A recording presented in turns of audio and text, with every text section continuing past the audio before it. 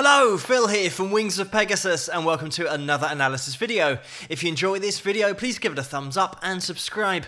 On the agenda tonight, we're going back to 1970. We're going to be taking a look at Chicago and they're going to be playing through Make Me Smile and we've got Terry Kath on lead guitar and rhythm guitar here at the front of stage. So let's see how Terry and the guys get on.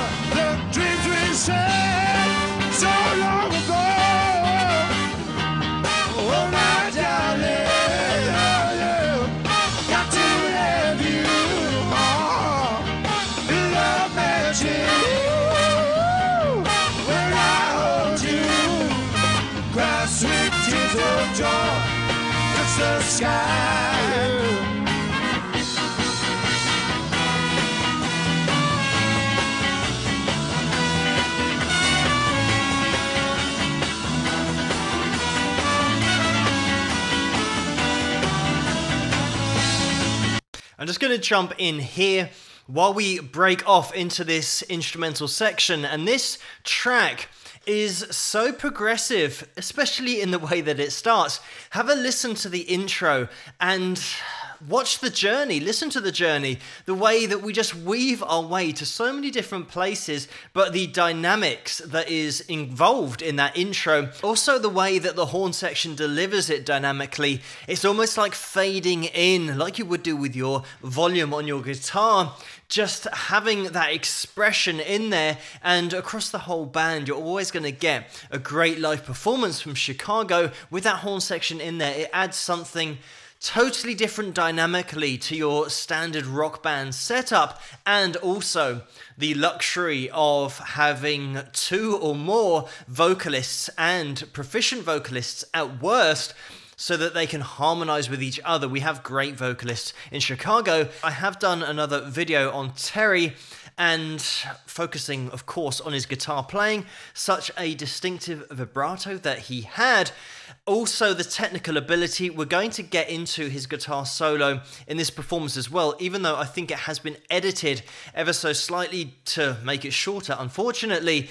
But the way that Terry played so expressively on the guitar and then had that voice as well. And I think if he'd been at the front of the stage, maybe it sounds weird, but his guitar playing would have been under the spotlight as well, because it always tends to happen that if a guitar player, especially someone who can play a great lead solo and express through the instrument, if they sing as well, they're under the spotlight even more. Just think of Clapton and Hendrix and all those other players that sang.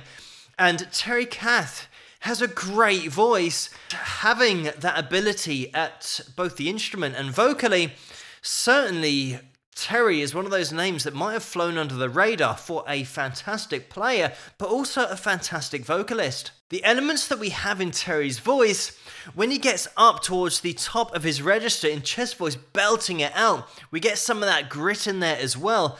But also, he does flip into head voice here. So we get that real top register, but it's not weak. It's a really clean head tone that he can throw in there. So he's got those different departments of his voice totally under control. And that's something that you'd generally expect from a standalone singer in order to belt out in chest voice, but then flip over to that head voice sound if they want it.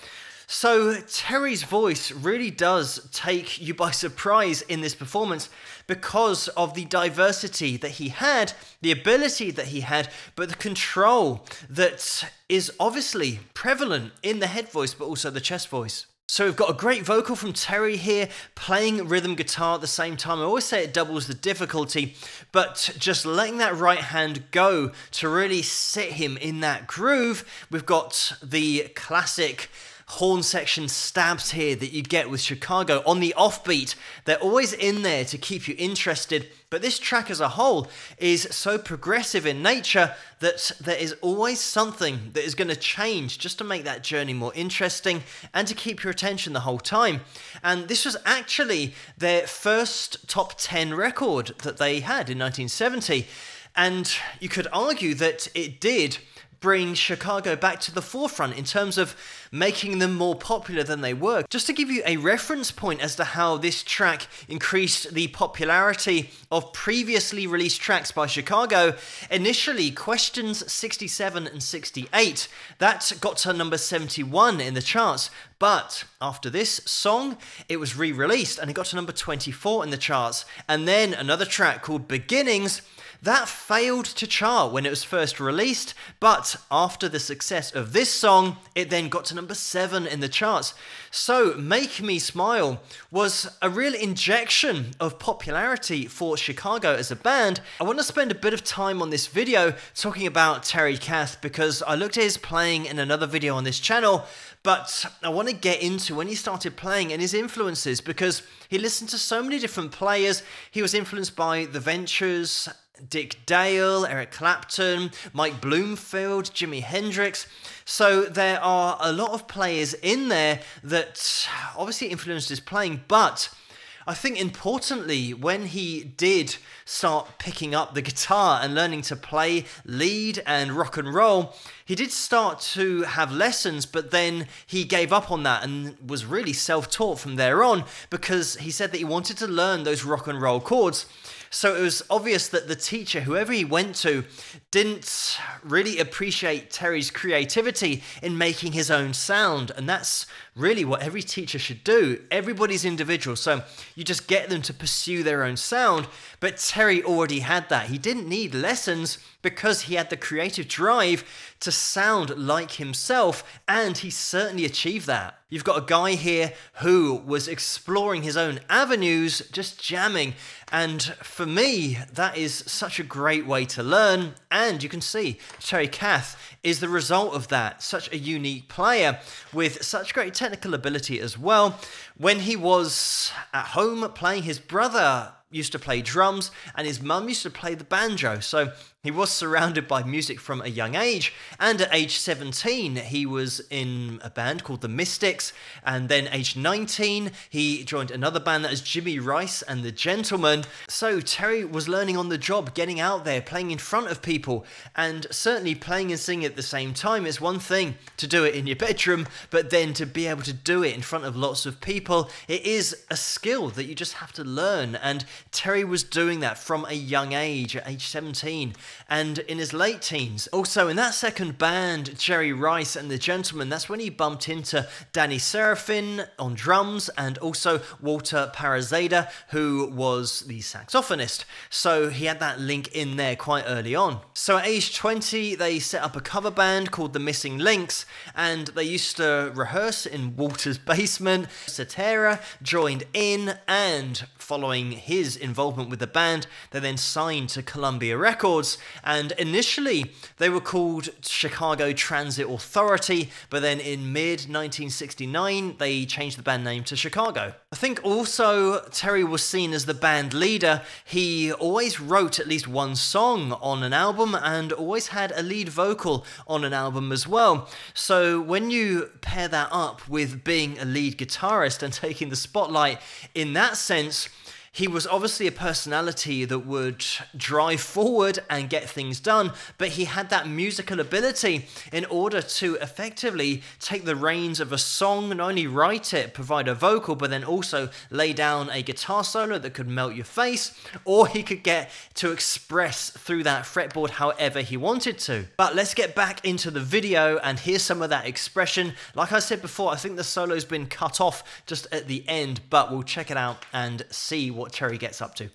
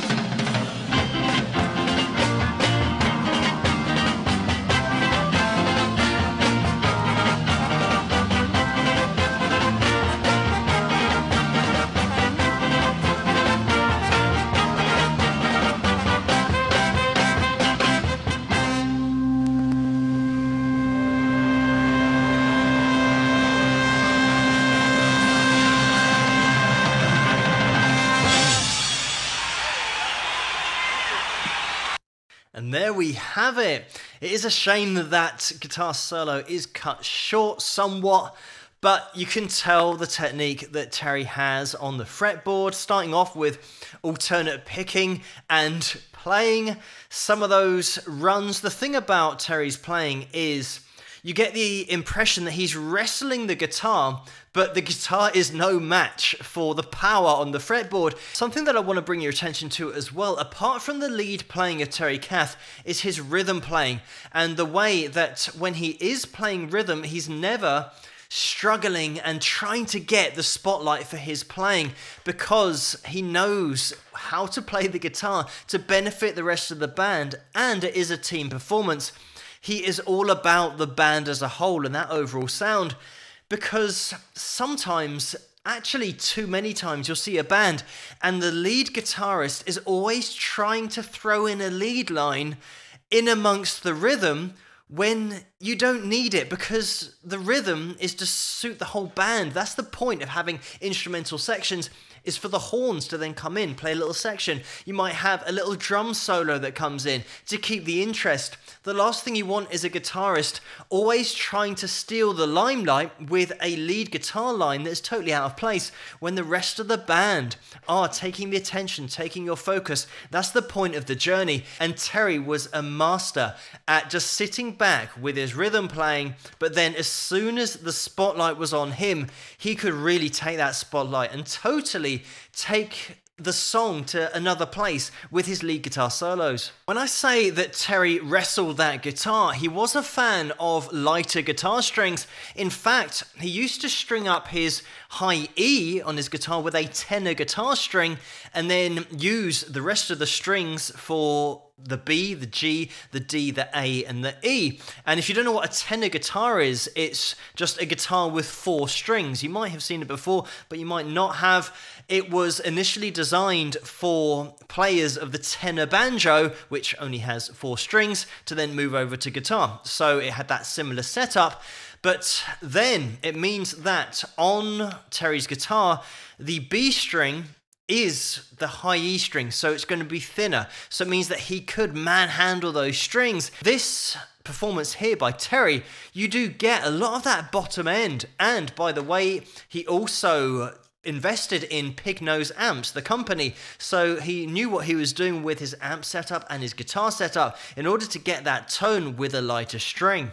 But covering his death, I'm gonna just mention about how he left us and how possibly avoidable it was as well, because it was in 1978 and they just had a party at Don Johnson's house, who was the roadie at the time for the band, and it was Terry who was used to having guns around. He just liked firing off his guns. I think it's different here in the UK because guns are illegal. I've never held a gun, for example.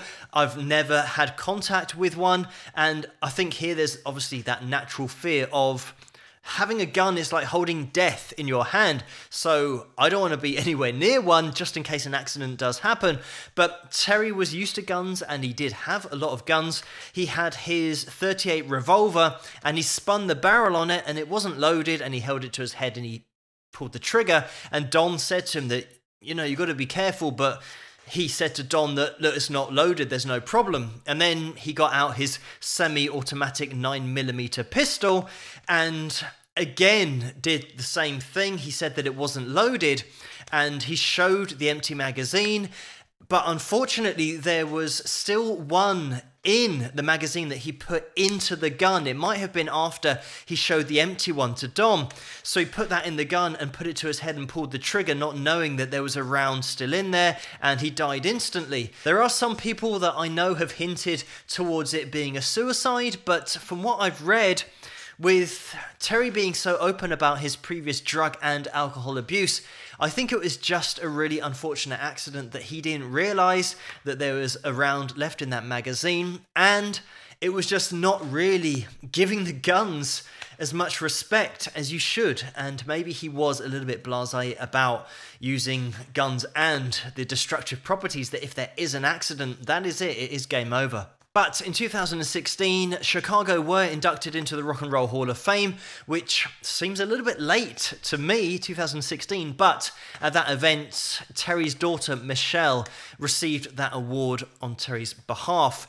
And by the way, Jimi Hendrix was a huge fan of Terry Kath's playing. I did mention about Terry being influenced by Jimmy's playing in the 60s, but apparently Jimi Hendrix was watching Chicago and he said that that guitar player is better than me.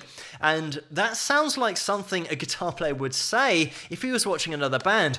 I have heard other quotes, and it's this typical quote that gets thrown out all the time that Eric Clapton was asked, How does it feel to be the best guitar player in the world? And then he says, I don't know, ask Jeff Beck. But you can put any names you want in those places. I've heard so many different versions of that saying, but Jimi Hendrix saying that the guitar player he's watching is better than him seems like a more believable quote. But we know that Jimi Hendrix was a fan because he did state that he was. But Terry Kath, a great all round artist, and one of those guys that was a triple threat, which is such a rare thing. He had the ability to lay down a lead vocal, was a great instrumentalist, but could also write songs. And those three things rarely come together in one person but we certainly had that with Terry Kath. But thank you so much for suggesting this video for me to take a look at, and keep those suggestions coming in the comments below. Let me know what you guys think, and if you enjoyed this video, please give it a thumbs up and subscribe, and I'll see you guys at the next one.